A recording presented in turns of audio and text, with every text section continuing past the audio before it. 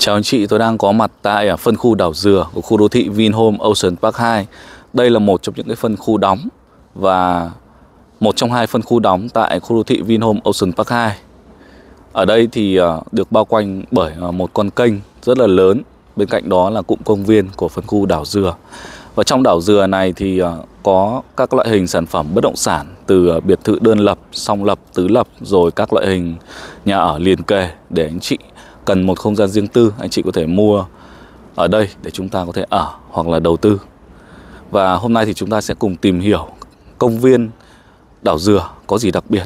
Và xin mời anh chị theo dõi clip ngắn về khu vực này. Chúng ta đang à, đứng tại trục đường đảo dừa số 07 như anh chị đang nhìn thấy, và điểm cuối của cung đường này chính là một à, công viên nội khu, gym ngoài trời ở đây thì có đầy đủ các cái dụng cụ để anh chị có thể à, tập thể dục, thể thao, vận động. Trước đây thì à, Vinhome Ocean Park 1 cũng có những cái công viên ven sông như vậy và tại Vinhome Ocean Park 2 thì à, cũng có những công viên ven sông. như tại phân khu đảo Dừa này chúng ta có công viên đảo Dừa. Còn tại phân khu Cọ Xanh Hải Âu thì chúng ta có công viên Siêu Park nó là một chuỗi công viên được bao bọc quanh những căn nhà. Đó, như anh chị nhìn thấy. Ở đây thì có các cái sản phẩm là những căn à, biệt thự đơn lập, đúng không ạ? Những căn biệt thự à, tứ lập, song lập. Như những cái căn à, như chúng ta đang nhìn thấy trên màn hình là lưng sẽ nhìn toàn bộ ra vườn hoa công viên và khu vực mặt nước ở phía ngoài đó, một con kênh rộng, một con kênh à, tự nhiên.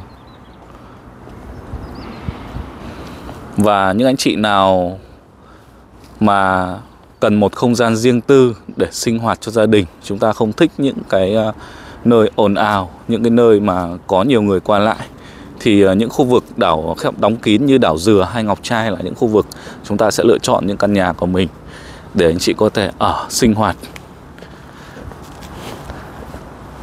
Ngoài ra thì ờ, ở đây một cuộc sống rất riêng tư, rất độc lập, rất yên bình. Thì chúng ta còn có nhiều loại hình sản phẩm để anh chị có thể lựa chọn. Từ những căn biệt thự đơn lập, view thẳng ra mặt hồ, hay là những căn liền kề, những căn biệt thự tứ lập, song lập gần khu vực công viên vườn hoa. Và đây là khu vực công viên chạy quanh khu vực đảo Dừa, Còn chúng ta còn có một công viên trung tâm ở giữa nữa. Công viên trung tâm thì à, sẽ có hồ bơi trong nhà rất là lớn, Các cái tiện ích đi kèm. Còn à, công viên ven sông này thì chúng ta có các cái tiện ích tăng cường về à, vận động Để chúng ta có thể tập thể dục, Tăng cường sức khỏe. Sức khỏe là cái giá trị nhất. Mà khi có tiền thì chúng ta cũng không thể mua được đó ở các cái trục đường à, của khu vực đảo dừa thì chúng ta có những cái sản phẩm những căn à, biệt thự à, tứ lập những căn biệt thự đơn lập nhìn ra công viên. Và đảo dừa là một phân khu đóng kín nên là không nhiều anh chị có thể vào được phân khu này trừ các, các cư dân. Phân khu đóng kín tức là khi mà chúng ta vào cửa thì anh chị sẽ phải đi qua một à, lớp an ninh bảo vệ.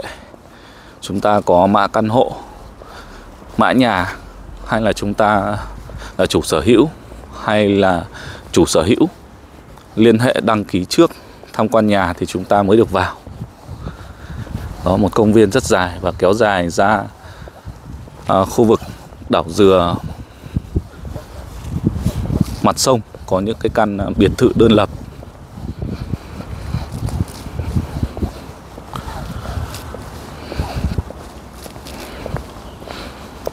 Chúng ta sẽ đi ra khu vực ờ, mặt trước của ờ, khu vực công viên, ven sông này. Trong này thì ờ, nó tách biệt hoàn toàn với thế giới bên ngoài anh chị ạ. Nếu mà chúng ta cần không gian riêng tư thì nơi này nó rất là phù hợp. Như cá nhân em thì em cũng thích nó riêng tư một chút.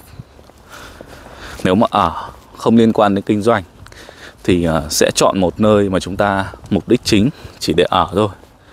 Chúng ta có không gian riêng, chúng ta không thích người lạ đi qua nhà mình. Chúng ta chỉ ờ, có những cái vị ờ, hàng xóm thân thiết thôi, hay là chúng ta có những cái không gian riêng, không có chung đụng với ai cả. Ví dụ như những cái công viên ven sông này, để đi dạo bộ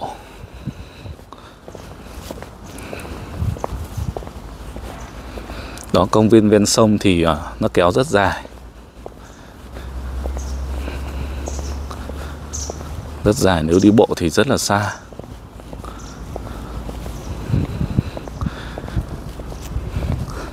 Ồ, nếu đi bộ thì rất xa anh chị ạ. Đi bộ mà tí nữa quay lại thì nếu mà anh chị đi tập thể dục cơ thì còn được.